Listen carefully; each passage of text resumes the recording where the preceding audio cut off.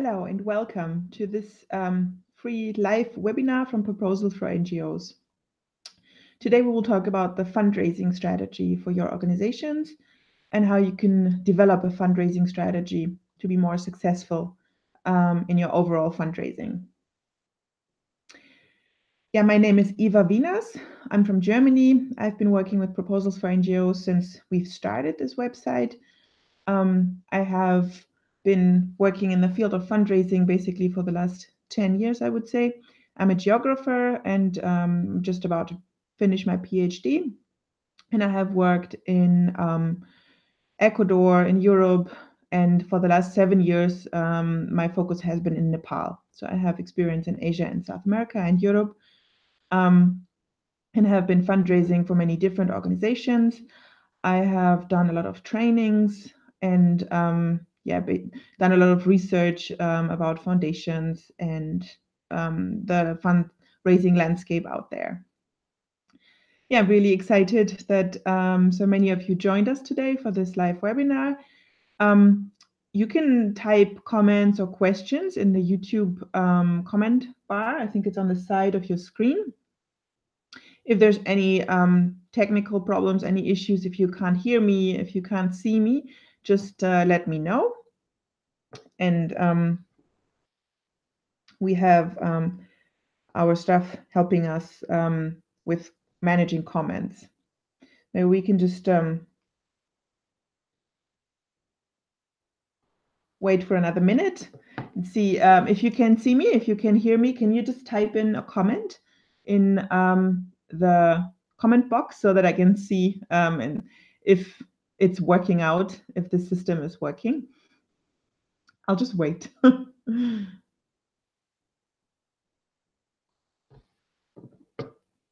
Maybe in the meantime, I can tell you uh, a little bit about proposals for NGOs.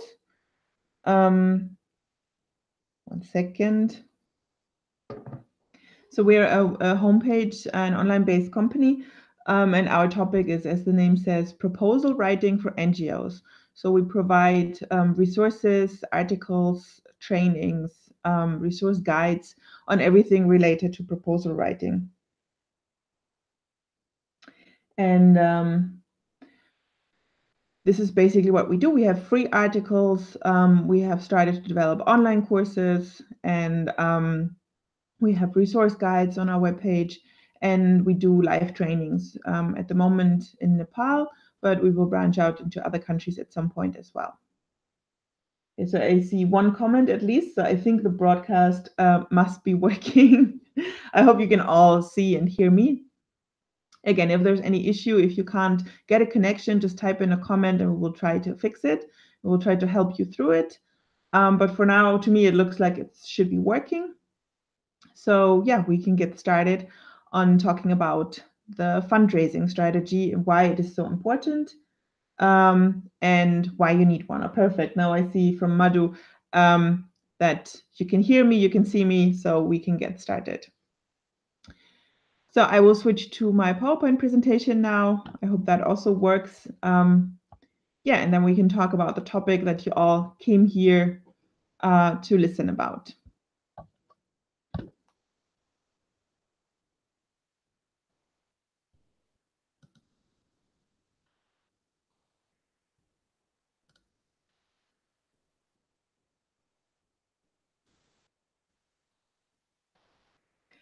So the topic today is, um, let's see if it jumped up. Yes, everything worked. The topic we are going to talk about today is how to develop a successful fundraising strategy. If you've joined this webinar today, I'm sure you work uh, for an NGO, you work in the field of fundraising. Mm and um, yeah, you're interesting interested in how to um, enhance your fundraising, how to make it more effective, and how to um, become better at it. So um, the first step um, to become better at fundraising is to have a strategy. Um, many NGOs sometimes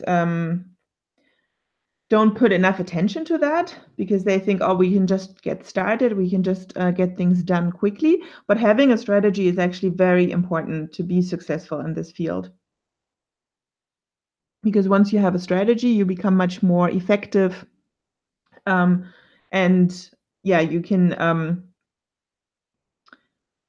use your resources in a much more effective way. And many fundraisers uh, have the problem that uh, they do many, many things. They have great ideas, but um, it's not really effective. The things, uh, the results um, that you can show for later are not the ones that you um, want to see.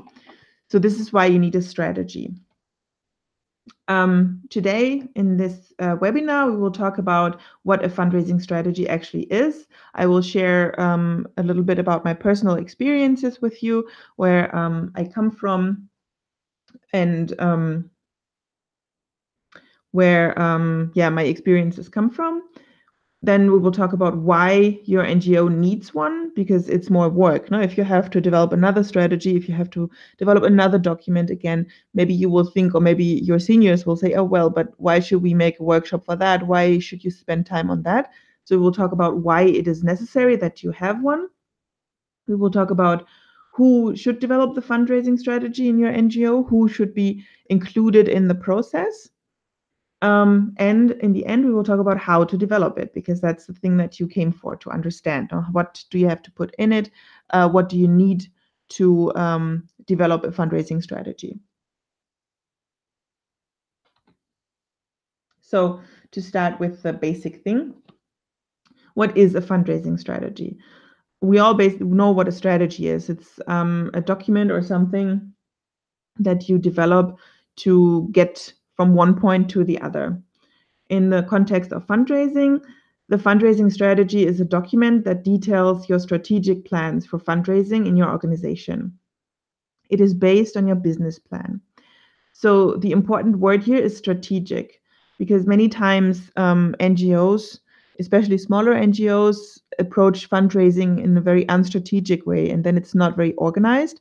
And that always leads to um, losses in resources and um, resources not invested very smartly. So you have to think about the whole process in a strategic way. What exactly do you want to achieve and how do you want to achieve it? And does it all fit together? The fundraising strategy also has to be based on your business plan. And that is also very important to keep in mind because um, also if you see many fundraising efforts uh, from NGOs, you will realize if you look at the whole organization, um, you will realize that sometimes they're not connected to the business plan. So then that results in um, yeah activities that um, are not really contributing to the overall mission or vision of the organization.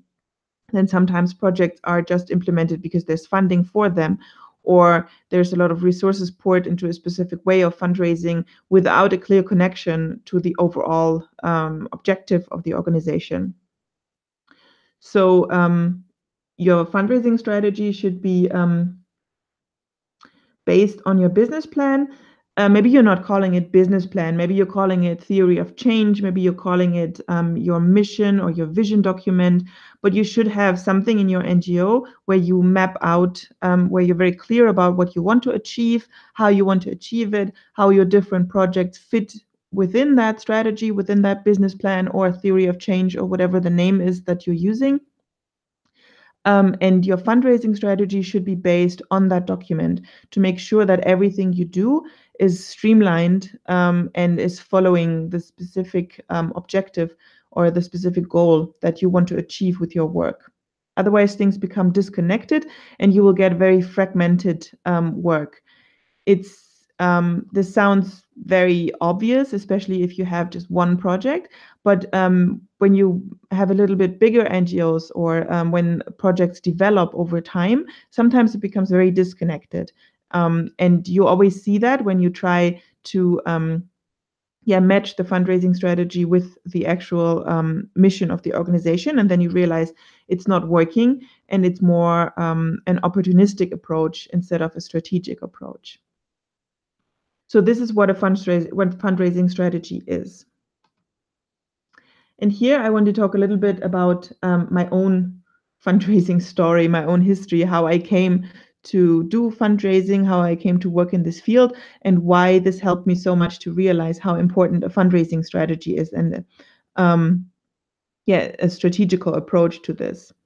Because I, um, when I was 19 or 20, I um, finished my high school. I went to South America to work in different projects. And after that, um, I went to Nepal and also worked in different small projects.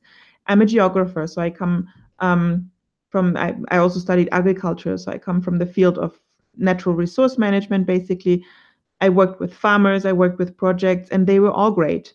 Um, we had amazing ideas. We had um, so many things we wanted to do to benefit the farmers. And um, I was the main project manager. So I was supposed to manage all the project tasks and I was supposed to also um, cover for finances. And I think many of you are in a similar situation. If you're working in a bigger NGO, maybe you are the sole fundraising manager, but many times um, the tasks of, of project manager and fundraising um, responsible person are mushed together so that you have those two responsibilities. I was very excited to work. I had a lot of energy. In this picture, you can see some of the farmers I worked with um, in Nepal. This was a reforestation project, and they received plants, and everything was exciting and great. But over the course of time, I realized that I was spending more and more time on fundraising and not very successfully. So we always had the problem that we had a great project and then it ran out. The grant we had was finished and we didn't have any follow up funding. The farmers were disappointed. Um, the beneficiaries were disappointed because they wanted to continue. We were not able to tell them exactly when and how. Um, then sometimes um, things changed, regulations changed, and we just had one funding source and um, then we couldn't um, benefit from that funding source anymore. It was also just very stressful. And um, yeah, the bigger our organization got, in the beginning we had one small project and it was fine. I was able to um, get funding for that quite easily. We had some very limited projects that um, needed one-off funding that was also okay. But then the more we grew, the more complicated our programs would get. And um, yeah, the more complicated it was to um, actually get long-term funding. And also the more time I spend actually sitting at my desk trying to figure out what to do, trying to figure out um, what our next steps in fundraising should be, and not spending any time in the project anymore, not doing the actual project work, because I was just so occupied with constantly trying to figure out what to do next. And after um, some time in this stage, I realized what I was missing or what our entire organization was missing was a fundraising st- strategy. Because, of course, if you have a good fundraising strategy in place, uh, it's not magic. It will not magically give you funding um, from one day to the next.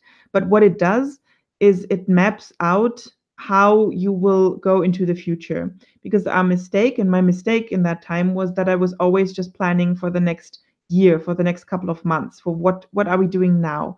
What can we do right now? And that is not how strategic planning works. If you um, plan ahead and if you know, oh, okay, now we're fine, but next year we want another project, so we need more funding. Maybe in two years things change. We need to renovate our offices. We need to have an emergency fund. If you plan into the future and then figure out ways how to achieve these goals that you set for your organization, for your project in the future, um, it is much more easy to follow through on these plans and um, to do them in the long term instead of always reacting in the short term. And also, once you have a strategy and write these things down in a document, assign responsibilities, you free up your mental space for other things. Because um, it it just uh, occupies so much of your space if you in your of the space in your head if you always have to think about what will i do next what um, how can i figure out the next steps so if you have a strategy in place um, all this goes away because it's written down somewhere everybody knows their role um, and people will act by themselves and i realized this for myself because once we implemented once we discussed about um, a fundraising strategy we um, had a much better idea of how to move into the future. I didn't have to constantly think about this. I was able to designate specific time slots towards fundraising. but the rest of the time was free to do the work I really liked again. And I think this is a problem that many fundraisers face. And this is why we think it is so important that we start um, our series of webinars with the fundraising strategy, because that is the base for all the work that you want to do.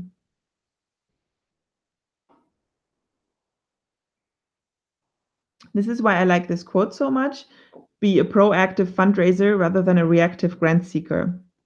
Because um, when you do this kind of work, when you work um, in in the um, in social work, when you implement projects, um, you don't want to be passive. You work with beneficiaries to um, become active, become actors um, in their lives, and this is something you should do with your NGO as well if you proactively think about what you want to do in the future and how you want to achieve all these um, goals, all these objectives, and then act on it um, and set goals for yourself, you have much more control about where your organization is going, where your work is going, what you can achieve, and how you can achieve it. If you just passively, um, reactively yeah receive things um, you're not in an active position. You are not the person or the the actor deciding things. Somebody else is deciding for you. And that is exactly what um, a business doesn't want and what um, at the same time an ngo doesn't want because you want to be the actor and you want to be um, yeah the person um, making the decisions and having a fundraising strategy is the base for that because if you have a strategy, then you know what you have to do. Then um, you act before things happen to you, and you can determine um, the course of the future for your organization.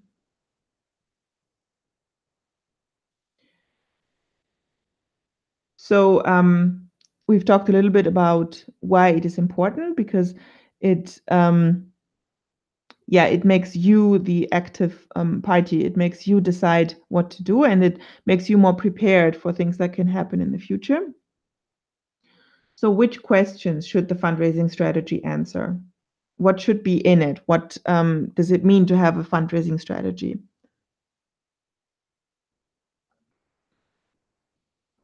The first um, question the strategy should answer is basically where are we today? Where is your organization with um, it's fundraising today. Of course, this is the fundraising strategy, so it is focused on fundraising. So we're not talking um, about um, staff or just the project work, but where is your fundraising today? Where do you get your money from? Uh, how did you get these contracts, these grants? Um, how did you get? How did you get your current fundraising? So in the first part of the strategy, you um, describe the, the current situation and um, how things are working out for you at the moment. In the second part, you talk about where you want to go. So um, you have to determine what your fundraising needs in the, let's say, coming year, coming two years, coming three years are. It's very important that you determine this because only if you know where you want to go, can you decide on how you will get there? If you have no plans for the future, if you have no idea what you will do in the future, then it's very difficult to determine um, what fundraising needs you have. So that's why um, we also said in the beginning it needs to be based on your business plan or on your theory of change or on your um, operations plan for the next um, one, two, three, four years. Um, so once you decide, okay, in the next two years we want to um, implement a specific project a specific program we want to build a school we want to build a community center whatever it is um, there's always funding needs connected to these projects or to these actions. Or even if it's something um, smaller like um, we need to renovate our building or we need to um, pay a big tax um, or whatever it is you need to define the fundraising needs or the funding needs that you will have in the future so that you know where you want to go and how much funding you will need in the future. Because only if you have a specific number here, you will be able to determine strategies on how to get there. And this is the third part of a good fundraising strategy that you decide how you will get there, um, how you will achieve those um, goals that you determined in the second part. There's are different strategies that you can use there, um, different ways uh, of of getting there, of um, yeah strategies that you can use, ways that you can get funding. But it is very important that you determine them um, in the strategy in the third part. For this um, entire process, it is very important to keep in mind that the grant cycle or the fundraising cycle is a cycle and not a linear process. So um, if many NGOs approach uh, fundraising more in a linear way, so they think, oh, okay, we have we want to do a project or we have a project, we need money, so we will find somewhere to apply. Uh, we apply there, we get the grant, we write a report, we're done.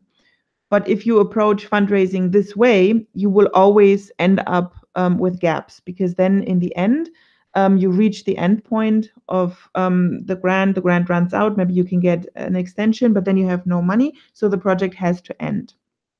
If you think of it that way, if you think of it more as, as a cycle um, than a linear process, then you will always um, be on the lookout for new opportunities. You will always um, be on the lookout for future opportunities, and that will help you immensely in um, making your fundraising more sustainable and having um, yeah a more sustainable approach towards your um, your project work. Um, sustainable meaning that you have long-term funding, that you can um, extend projects, that you can keep working on them without um, having a break and without having to worry about them all the time. So the parts of the grant cycle are um, this starts at the top with the research. So first you have to research where can you get funding. Um, this is a very can be very extensive this project uh, process because there's so many donors out there nowadays. So you have so many possibilities, but only few of them will be a good fit. So um, you have to do research to find the perfect fit um, and to find the um, the donor that you can apply to. Don't just um, apply to as many as you can, um, but really choose good ones. Choose ones where you have a, ch- a fighting chance, because only that way um, you will use your resources in an effective way. The second step of the grant cycle is to prepare. Prepare a proposal um, or prepare through networking, connect with the donors. Just be ready um, to submit something if the if um, the donors you found in your research step have an open call, you can um, of course send an application, whatever they're asking for in that call.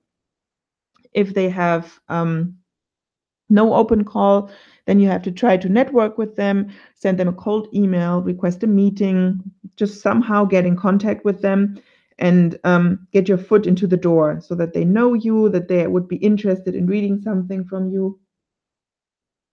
And um, that yeah you can start talking with them and that they um, you start to appear um, on their radar. The next step is to apply. So you've prepared your proposal um, you've talked to the donor. They, they said yes send something over. So then you apply with your concept note um, your proposal or whatever they um, request of you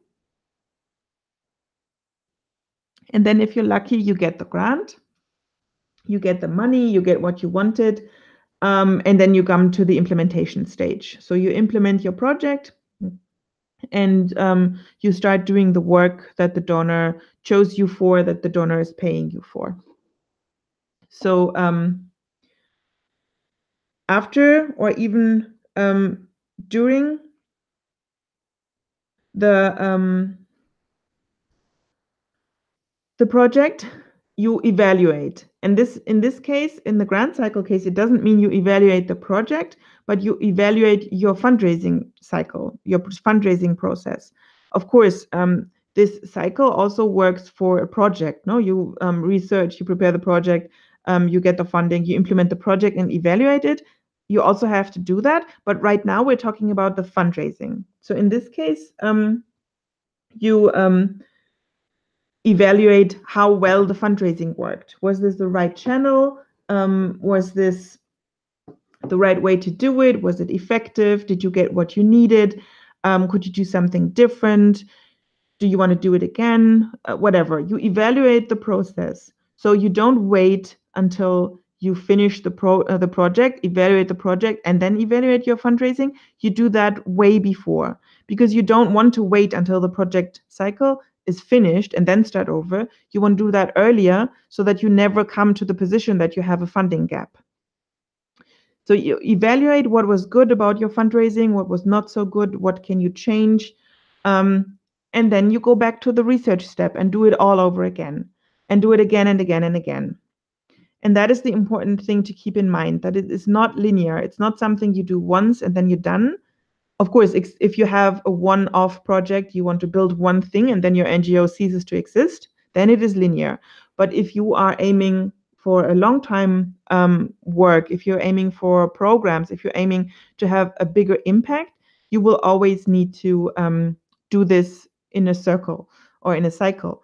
Do it again and do it again and it doesn't have to be um, in this order always.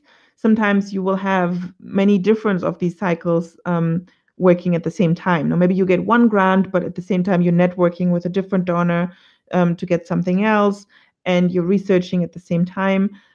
But it is important to have it all um, in a strategy to have um, your steps lined out that you have to do to get there and to always um, keep looking for new opportunities to um, extend your fundraising.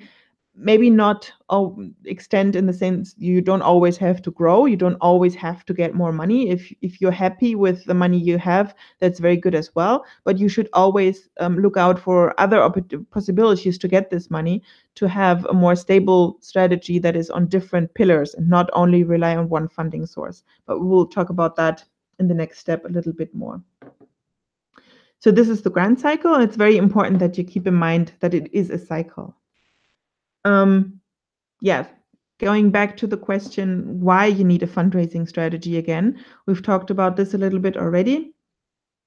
But the most um, important thing is you need the fundraising strategy to avoid funding gaps. Because if you don't have a strategy, like we said before, you might um, have the situation that you uh, run out of funding and you don't have anything else lined up and then a project ends. And this can be quite dramatic um, if it's like a hospital or a school or something like that if you run out of funding throughout the um, project or even at the end and you don't have any more funding you might have to close down and this might have um, very dramatic influences um, on beneficiaries. So you have to try to avoid funding gaps at all costs um, so having a fundraising strategy and always thinking ahead and not reacting but acting um, avoids these gaps.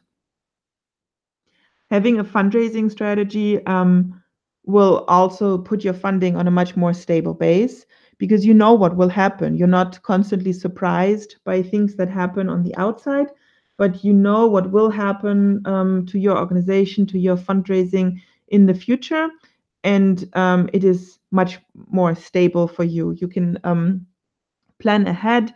You can be more confident in the work that you're doing and in the way you're planning ahead, um, and you will be um, you will have a more sustainable approach towards your project. A fundraising strategy is also very important to um, map out tasks so that everybody in your organization knows who has to do what and when. Because um, specifically when you work in a little bit bigger organization, but even if it's just two or three people, uh, misunderstandings always happen. One person thinks, oh, the other person is going to do that, and they think, oh no, but um, person A already did that, and in the end, the task doesn't get done. So even if you know um, what you have to do, if you don't map out who is going to do it and when it needs doing, um, things will probably still not get done. Um, it's just human nature that um, nobody really um, wants to do all the work at the same time. So um, people wait. No, maybe the other person is going to do that. And as long as it's not clear, things will probably get lost in the process. So the fundraising strategy is the place in your organization where you can exactly um, tell who um, needs to do the things and when. So you put a deadline to it. Um, you put um, time steps towards all your actions so that you know um, you can define milestones, what you will have, what you will need to achieve at a certain point um, to implement your fundraising strategy. And then if it doesn't happen, then you will notice that uh, something went wrong, that you will see that there was um, a roadblock and you can fix it. So um, that is very important to implement a successful strategy. And like we said before, it's also very important to free up mental space for other tasks. Because if you always have to worry, if you always have to think about um, where is my next money going to come from? Um, can we pay our stuff next month? Um, do we have to end the project? Do we have to change the project? Do I have to just um, work harder or something like that? If you constantly have to think about all these things, if you constantly have to research new opportunities and write and jump here and jump there, then um, you will not have the mental space for other tasks. One more reason um, to have a good fundraising strategy is also to not miss deadlines anymore. Because uh, if you don't have a strategy and you just maybe you do some research at some point, then maybe your colleague does some research, you might miss many important opportunities in your field. But if you have um, this all mapped out, and if you know, okay, at the beginning of the year, I do like a week straight of fundra- uh, of um, research for donors, and then you know all the deadlines throughout the year, and then you will not miss them anymore. You will have enough time to properly prepare for them. And um, yeah, that is going to help you because otherwise you might um, stumble over something, but it's already the deadline has passed, or it's too short term, or um, for other reasons you're not able to um, apply there. So this is going to give your organization, your fundraising, much more stability. Um, and yeah, will put you in a situation where you can look out to the future and um, where you can be much more successful because you know what you're doing and yeah you have a plan that will support this.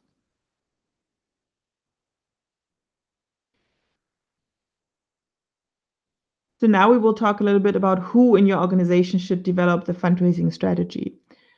Like i said before um, tasks that have no assigned uh, person to do them normally don't get done because um, it's just human nature that we sometimes avoid tasks if um, they're not specifically assigned to us or if we are not in charge. So especially if you work in, in a team or with more people, um, it's important that you know who should do what, and it's the same for the fundraising strategy. Um, I would say it's very important that you develop the strategy in a team. If you work in a team, of course, if you just work by yourself, um, then you don't have a team, you, then you can't discuss it with anybody. But it's uh, still good to run your fundraising strategy and your ideas by um, some other people. And um, if you work in a team, it is um, important that you discuss it in the team because, like we said, it should be based on your business plan, it should be based on your theory of change and everybody should be on board with it. Because if you just decide by yourself oh i want to apply there i want to apply here um, first of all you don't use all your resources because other people might have different input that you can use. And um, secondly maybe they're not agreeing and then they will not support you with every strategy with everything that you um, thought of. So it's always good to discuss this in a team um, if you have meetings to discuss your business plan or to discuss your your mission statement you could just add it there and say okay in the morning we discuss about our business plan. In the afternoon we develop a fundraising strategy to determine how we want to um, actually get there. So make it a team effort so that everybody's on board. Everybody should be in the loop uh, to be clear about roles and responsibilities as well. Because um, it is important that everybody knows what they have to do and um, what their their tasks are. If um, you determine that someone has to do something but you don't inform them, they're not in the loop, then um, that is not helpful at all. So everybody needs to be clear, and you need to share with everybody um, what they have to do, what their next steps have to be you should also try to make sure that everybody, and especially your seniors, um, understand the importance of developing a fundraising strategy and also assign resources towards it. Because many times um, I see that people are very hesitant to pay any money for anything related to um, fundraising. The um, there's some resources that can help you when you develop a fundraising strategy or when you develop um, when you work on actually implementing your fundraising strategy. You can buy access to databases. Um, you can get trainings. You can um, get online trainings. You can um, get the help of a consultant, and um, many NGOs are hesitant to do so because they think of it as a cost. But you should always think about um, think of um, money you spend in fundraising as an investment because if you spend it in a smart way, it will come back. It will um, you will be more successful in your fundraising, and that will mean more money in the long term for your NGO. But of course, um, if you're a fundraiser, you probably already know that. Um, many times, though, um, the seniors in an organization are not so clear about it and are hesitant sometimes to pay um, money or to, um, yeah, allocate any resources to it.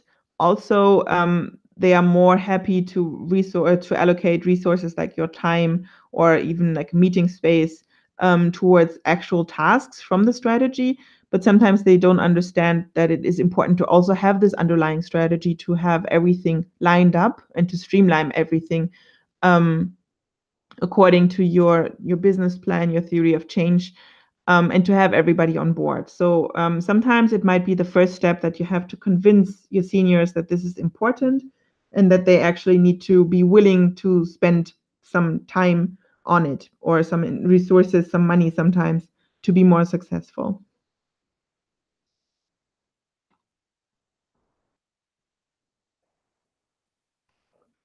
So now we get um, to the meat of this presentation, how to develop a fundraising strategy. Because uh, we've talked about the importance, we've talked about what it is, um, how you can use it, but how can you actually develop it? So the first part, as I said before, is that you have to determine where you are today. Where is your organization's fundraising today?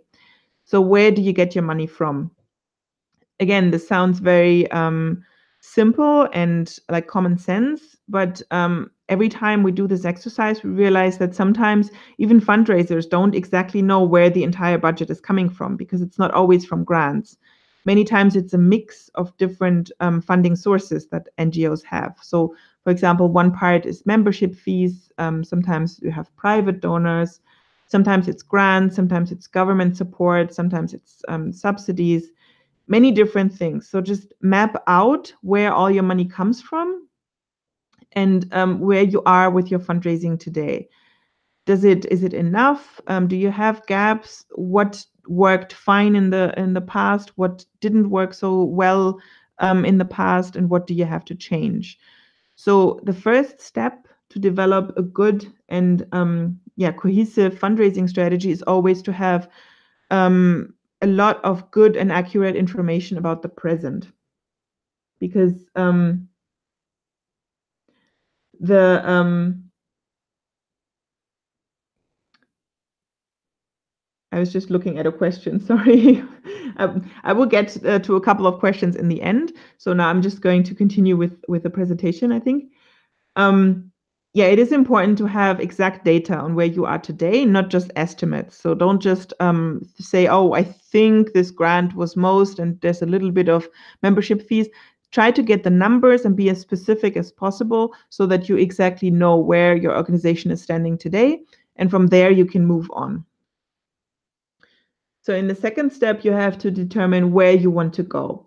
Um, this is very um, depending on the plans that you have for your um, NGO, for your project in the future. So this um, part really has to line up and really um, needs to be based on your business plan. So what are the plans for projects in the future? What are expenses um, that are looming in the future? Is there, for example, um, going to be a change in the tax rule? You have to pay more tax. Um, is your office falling apart? Do you need to buy new computers? Do you need to um, buy anything else um, in the near future? Um, do you have to um, have more staff? things like that. No, you have to plan correctly into the future because um, if you don't know what you will need money for, then you can also not get that money. So you need to have very specific plans um, and determine your fundraising needs for the coming um, months and ideally for the coming years. So um, be clear about that. And sometimes this requires that you do long term planning um, for your entire NGO in your business plan. Maybe you're not doing that yet, but that is always a good idea because if you plan, um, you will always be more successful. There's a lot of research in the field of businesses and startups, and all the research says that um, businesses that plan ahead are always more successful because, like we said before, once you have a plan and you act on a plan, then you are active. Um, if you just react, you're reactive, um, and you will never be as successful. And the same is true for the NGO sector. If you plan ahead, um, you will be much more successful in your work. Of course, you can't plan for every single eventuality. Some things uh, might not be possible, some things might change. Um, but it's still always better to change a plan than to have no plan at all and just react um, when something happens in your field. And then the last part um, of the fundraising strategy is how do you want to get there? So, how do you want to achieve um, the fundraising goals that you defined in the second part? How do you want to get that money? There's different strategies that you can use. Um, first, you have to determine um, yeah, how um, you want to get this money. Do you want to apply for more grants? Do you want to enhance membership numbers? Do you want to start a social enterprise and maybe get money um, for your project work? Do you want to rely on government funding? All these are different um, ways that you can get money and that you can um, include in your fundraising strategy. It's just very important um, that you determine which ways you want to go because otherwise your research will also be very undirected. And again, you will miss out on resources that you have because if you choose to um, enhance membership numbers, you need to include your members and maybe have them do some um, promotions for you um, get more members on board or stuff like that. But you need to include people. You need to know what to tell them so that they can help you with the strategy you chose. If you want to apply for grants then you need to research grants and stick to deadlines. If you want to work with the government maybe you have to um, adhere to specific um, requirements by the government that will need some time to um, adhere to. So if you have to apply for a specific um, tax code or something like that, all of this takes time and preparation. So you need to be clear on what exactly you want to do and um, how this will help you to get where you want to be. And again, you have to um, be specific about who will do what in this um, process, because otherwise, um, things will still not get done, even if you if, if you've broken up the tasks um, to the most possible level. One very important thing you should do and you should determine um, in your fundraising strategy is to try to diversify your funding sources. Because um, if you only rely on one funding source, then of course the risk of that funding source to break away is very high, um, or the risk for your work is very high. Because if you um, have one donor uh, and suddenly that donor decides to change their focus or something else happens and you lose that donor then you lose everything. But if you have different funding sources and one donor agency or one donor breaks away you will still have the others to fall back onto so this is also one of the goals that your fundraising strategy should have is to diversify because um, a diversified um, funding sources also diversify the risk that you have. Um, your risk is much lower to lose everything at the same time, um, and your work will be more stable. Because if you, again, if you know that you have different funding sources, the probability that all of them will fall away at the same time is much lower, and that will give you your planning more stability and will give you the ability to plan longer into the future. Um, you should also get familiar with the funding landscape, maybe even a little bit before you do um, you prepare the fundraising strategy, because you want will want to um, you will want to know what is an option for you. If you already know that for your field there's almost uh, no government funding, then it doesn't make any sense to include this um, into your fundraising strategy. If you know that there's many, many grants, then maybe that is a better strategy. If you already know that um, you will have volunteers and members of your organization who want to support, then maybe that's the best strategy for you. Um, so you can do some research before um, the meeting, before you determine your fundraising strategy, to have an idea. Not too, not too detailed, but just to have a, a general idea about the funding landscape and what could be options for you and what would be the best fit for you. You can um, answer to calls for proposals. Um, so that is a next step. Once you have determined exactly what you want to do, that could be one option um, and you have to network with donors.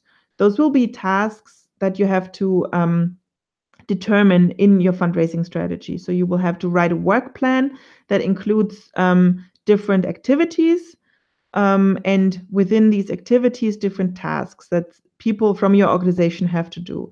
If you're a fundraiser, many of these tasks will fall to you. The research, probably networking, um, writing the proposal these tasks will probably um, mainly fall to you with support of others. But there's many tasks that for example board members can help you with volunteers can help you with because especially um, during the networking they can be um, of great help.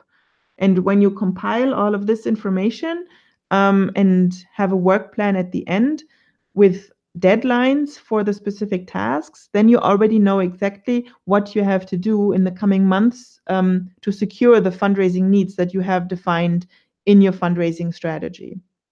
So this document um, will give you a lot of um, insurance of what you have to do in um, the future to actually achieve your goals and to put your work on much more um, stable feet. So now, if you developed, you have developed a fundraising strategy, um, you decided which channels you want to use. Um, you have evaluated your past strategies. You have decided, okay, this um, it works very well for us to um, recruit more members. It works well for us to apply for grants. Um, our uh, benefit um, ball, our benefit event last year didn't make so much money, so um, we will drop that. We will focus um, on specific things.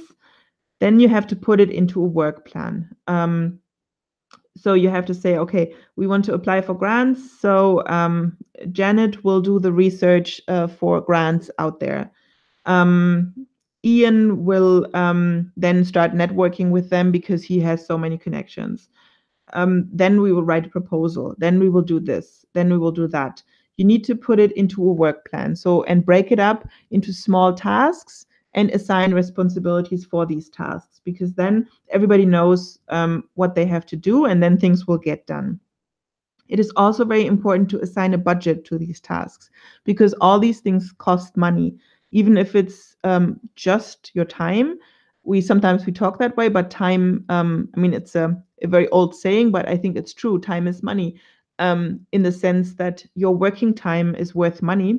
So even if you don't have to pay actively something if you work on something that is a resource spent so you need a budget. You need your seniors to understand that these things take time that maybe you will need money as well because there's some tools that can help you throughout the process.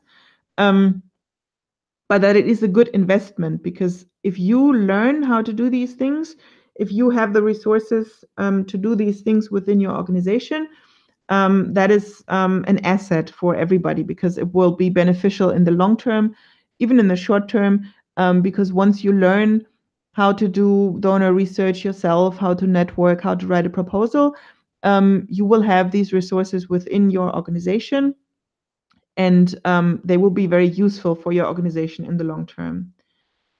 Yeah, and you have to share this document with the people who need to know with your entire organization so that everybody knows what is the plan, how do you want to approach um, the future, how um, do you want to implement your fundraising strategy, and how is the fundraising strategy connected to your theory of change, to your business plan?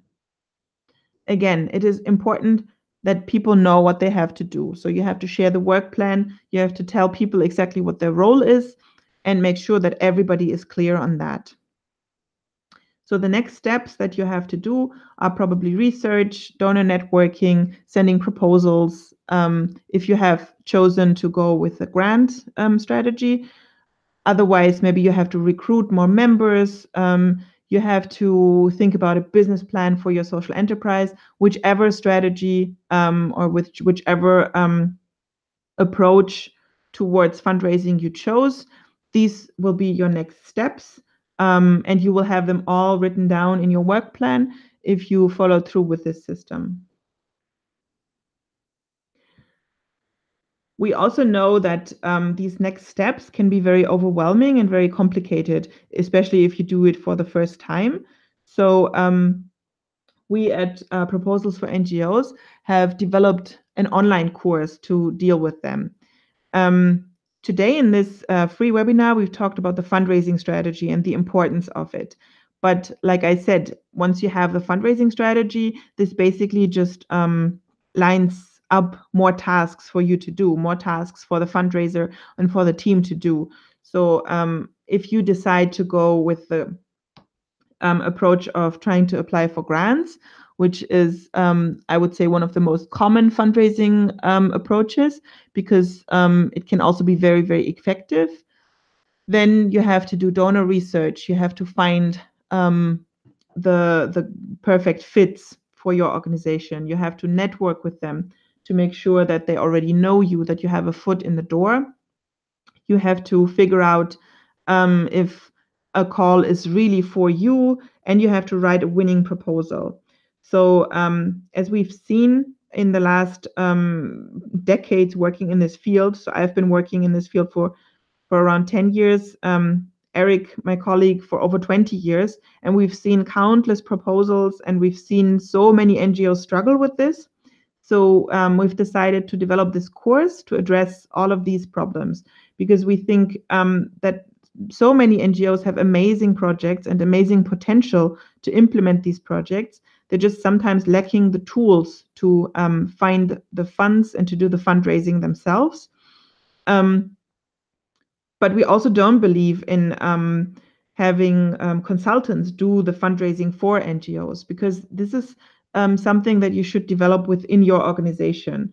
Because if you pay a, um, a consultant to write a proposal for you, then maybe they write a successful proposal, maybe not, but the knowledge doesn't stay within your organization. If you in your organization learn how to um, develop a successful proposal yourself, then um, this stays with your organization or with you forever. And this is a, a resource um, that will be useful in the long term. So that is why we um, developed this online course that we want to present to you today.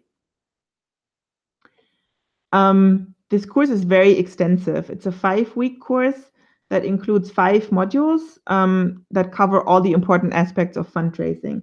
So um, the first module in this course is about the fundraising strategy as well, but um, it's more extensive than the, the webinar we did today.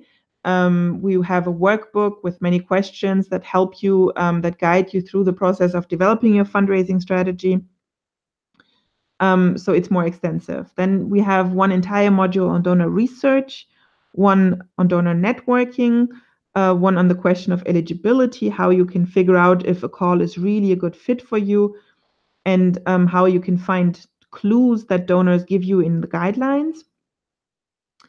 Um, and of course, um, we have one module on the writing the proposal itself, um, because of course you need a, a very good um, document on um, uh, a very good um, proposal document as well to be successful.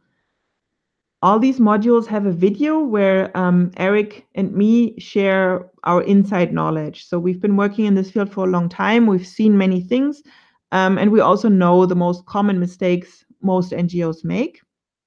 So we will talk about them. We will talk about how you can avoid them um, and how you can um, work around them, how you can make your proposal shine and be um, that one pearl um, within the pile of stones that um, sometimes uh, donors get. You will get more than 70 pages of supporting materials, cheat sheets, um, for every module where you can see the most important points on one page. So if you're in a hurry or if you just want to get an overview, that is very helpful. Then we have included um, samples of successful proposals and concept notes, which is also very helpful. Of course, you can't copy them, but um, you can look at them and take them for inspiration um, and learn from successful um, examples. We have templates for different parts of the proposal and the fundraising process. So we have a full proposal template. We have many emails, how to write a cold email to a donor to get um, a first contact how to write a grant extension letter, how to write the right cover letter, cover page. For all of these things, um, we have templates that you can use and work with. At the end of each module, we have a quiz that you need to pass. So we, that's we included this because we we want to make sure that you really understand um, what the modules are about. We have homework assignments um, that help you um, to apply the gained knowledge to the project you're working on. And one of the very special features this course has is access to an exclusive Facebook group where you can discuss uh, with peers. So um, all of the people who take the course become member in this Facebook group. And if there's any questions, if they prepare a proposal, if they work on a call, and if they have a question, um, they post it there. We are in this group a lot, so we answer questions, but also other people who um, took the course, who work in this field, answer questions. And many times this input is even more um, valuable than our input because these are people, these are fundraisers who do the work today and who are in the field. So everybody's always very happy to share experiences and to share insight.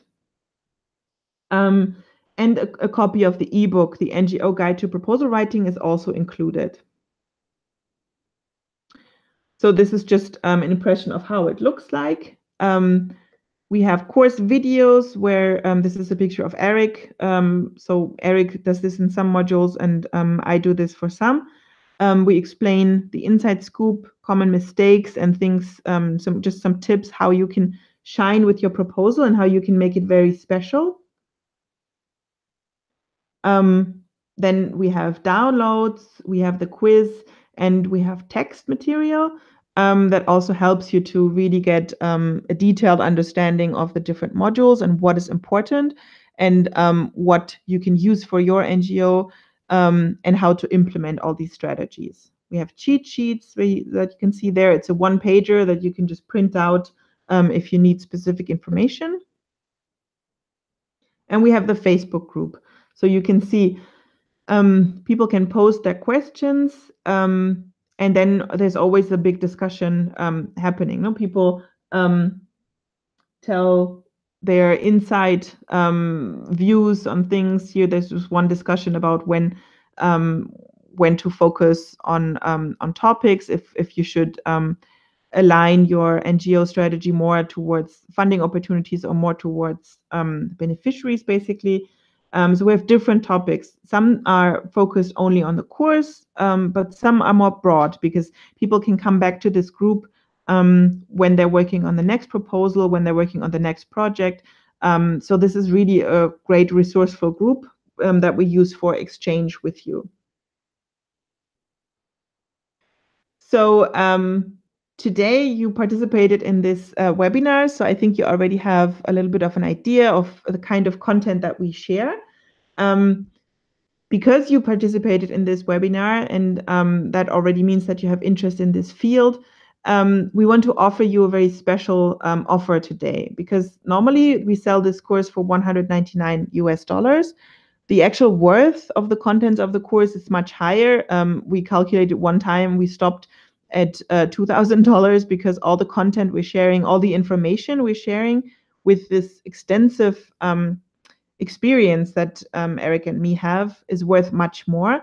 Um, this um, Facebook group is really, really useful um, because um, it gives you access to so many people that have a lot of, lot of knowledge in the field.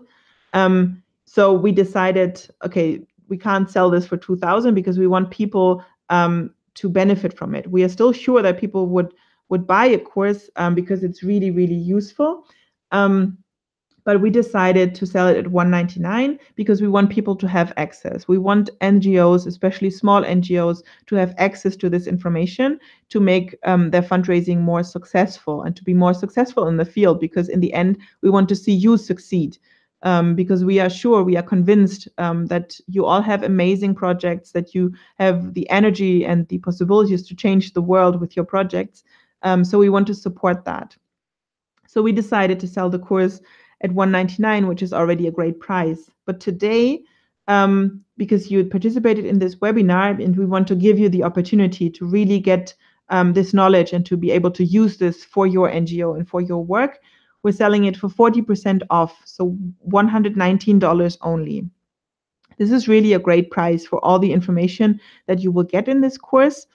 Um, and like i said before you should try to see things like that as more as an investment because if you um, use this information if you follow through with the homework um, if you work through the workbook um, exercises you will have um, a fundraising strategy after this course. You will exactly know what to do. You will know which donors to contact. You will have researched contact persons at the donors. You will have sent um, 10 or 20 even cold emails to donors. You will have established connections with them. And you will have a first draft of a proposal that you can use um, and tailor to donors' needs after that. So yeah, the content is really great and it will be very, very helpful for you. Um, and we are 100% convinced that this can turn around your fundraising completely um, if you follow through with all the exercises. I personally would have wished that this would have been available when I started fundraising. Um, because it, I know it would have helped me greatly and it would have uh, saved me a lot of time and a lot of resources that I spent uh, Googling around, searching for things myself, trying to put the information together. Um, and it was just never as effective as um, this course would have been.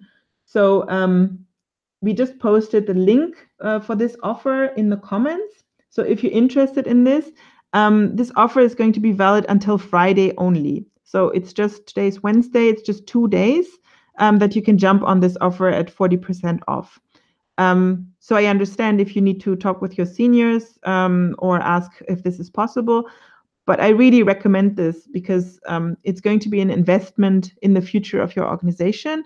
It will help um, your fundraising to be much more stable, um, and it will help your organization in the long term to um, establish this knowledge within your organization and that you can always do it in the future. So we just posted the link um, to this offer. You can also, um, you will get a copy of this presentation by email if you want to watch it again, if you want to watch some um, passages of it again, and you will also, of course, get the link to this offer. But remember, it's only valid until Friday. Um, so you have to jump on it quickly if you want to take advantage of this um, extra price that we offer for this webinar. Um, if you think, oh, this sounds interesting, but I'm not sure, and 119 is still too much, we have also split up um, the course into five modules, into five single courses. So every module is also um, um, open for purchase um, on the um, individually. Sorry.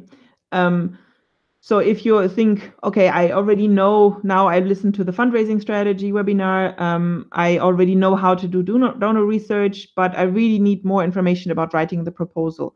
You can also purchase um, only the proposal writing module individually. All these individual modules we sell at uh, $50 only.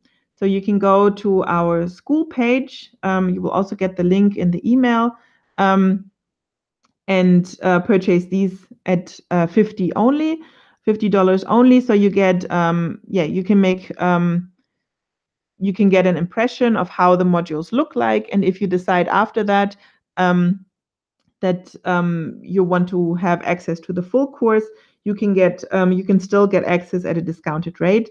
Um, not as much discounted as we offer today because this is really a special offer that is only valid for two days, um, but still at a better rate because we want to honor um, the fact that you already um, trusted us with one module. I always recommend the full course because it's a much better deal. Um, and in fundraising, it is important to approach things holistically um, and look at all the aspects and not only at one aspect. But if you feel like, oh, I just need um, a refresher, I just need some support in one of these areas, um, then you can also purchase these um, modules as single courses. Yeah, so this is the information I wanted to share with you today. Um, now we have some time for questions left. So I saw there's a couple of questions already um, in the comments. So let's let me find them.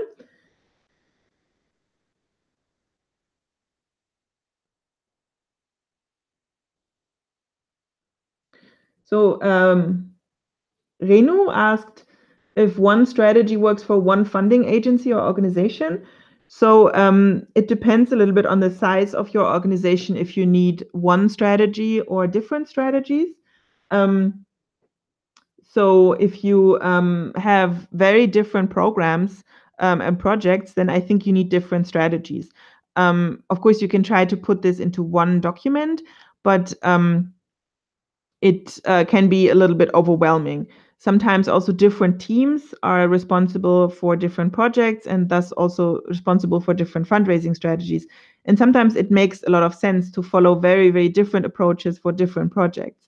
For example, if you have um, if you want to build a school, that is something very um, expensive. And for that, you probably need um, maybe government support, maybe a grant, um, big money. But if you just want to sponsor a class going on a field trip or something like that, you can also go for crowdfunding. You can um, talk to people a very different way. If you have one project that has a very emotional component, yeah, crowdfunding or private donors can be a solution because you can easily reach them.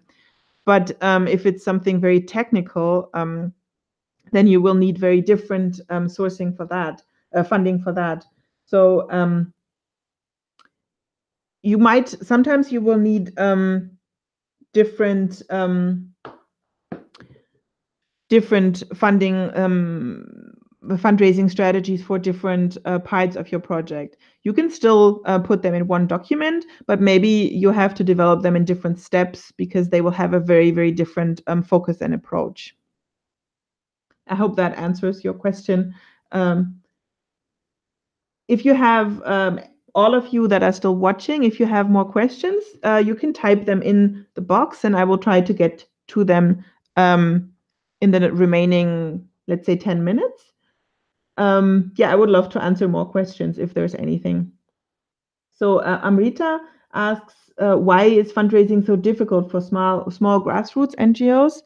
Um, the problem is that sometimes um, donors only want to work with bigger NGOs. Also, private donors um, want to work with NGOs that are already established, that have a working history. So it can be very difficult um, for grassroots NGOs that have just been established, um, and especially if they're very small, because um, donors want to have a specific size of organization and also a specific number of years that an organization has been established. Um, of course, this is something that you have to take into account uh, when you develop your fundraising strategy as well. When, when you start out and when you're very small, sometimes it makes sense to rely more on things like um, yeah, private donations or um, membership fees, even even if it's a grassroots NGO. If you collect a small membership fee, um, then that can already um, add up to something, and that you um, yeah include strategies that are appropriate for your kind of work some donors um, focus on working with grassroots NGOs and giving small grants. So they can these donors can be a very good um, entryway into this world of of um, grant um, writing. For example, in many countries, in many developing countries, um, embassies give small grants that and embassies mainly want to work with grassroots NGOs. So this can be something um, that can be very useful if you try to find calls from embassies or specifically from donors who want to give small grants as well. And this this can be an entryway but it is a little bit difficult especially in the beginning. But if you keep this in mind also when developing your fundraising strategy um, you can still get funding and you can still get started. And sometimes um, grassroots NGOs even have more credibility because they are close to the beneficiaries and they really know um, what's happening on the ground. So some donors are even more happy to work with them. Um, then another question from Renu. Uh, fundraising strategies differ per country and per cause. So how to deal with this issue? Yeah, this um, refers back a little bit to what we said earlier. Um, of course, different projects um, and also different countries need very different approaches because not everything works for every country and not everything works everywhere. So some in some countries um, you get tax exemptions, so foundations fund in a very different way. Um, some um, countries have restrictions on receiving money from abroad. Um, so yeah, it depends, of course, a lot on the country, um, which fundraising strategy you want to follow, and also on the project, because not everything works uh, for every country. So um, you have to develop different strategies, and you have to do a lot of research to find out which um, strategies, which approaches are good for the, the kind of project you want to implement. So in our course, we also give a lot of information about research strategies, about how to find the perfect fit um, donor fit if you decide to try to um, go with grants. But on the um, level of strategy, yeah, first you have to decide which um, approach, which way of getting money is the most appropriate um, for your circumstances. And they, that might differ if you um, work in different countries, if you work with very different projects. And of course, there's no one fits all strategy. You always have to change the strategy to the um, circumstances and um, to the uh, system that you are working in with your NGOs. And then there's one question from Risti. Uh, where can I get information on donor funding? Um, there's not really one place where you can get that. It's the whole research process. So in the course, we have one entire module that focuses on research and, and how can, you can get this information and where you can get it. Because there's some tricks that make it easier. Um, it's not only Google, there's many other things that you can use to get this information. And we share um, the inside scoop on this with you in the course. But there are some databases that you can use. You can also um, follow our page, Proposals for NGOs. We share information about opportunities. You can subscribe to our newsletter, um, and there's a lot of information on that. There's other opportunity pages and databases that also give this information, um, but you need to search around a little bit. If you um, subscribe, if you um, join our course, you will also get a resource guide on um, donor research that has all the important links to get this information. So that is also very helpful. Okay, I think those are all the questions for today. Um, yeah, I'm very happy that you all joined for this webinar. I hope this was helpful for you. I hope you learned something. Um, and I hope to see um, some of you on the inside, see you in the online course, because there we share much more information, much more details, and um, really help you to develop these um, strategies, these things for your own organization to um, lift your fundraising to another level. So I hope to see you on the inside. I hope to see you in the course. And if you have any more questions about the online course, um, about this webinar or anything, um, let us know by email or in the comment window here. Please subscribe to our YouTube channel as well so you don't miss any more webinars um, for the future. And thank you very much for joining. I hope to see you again next time. Um, yeah, and I hope to see you in the online course as well. bye bye.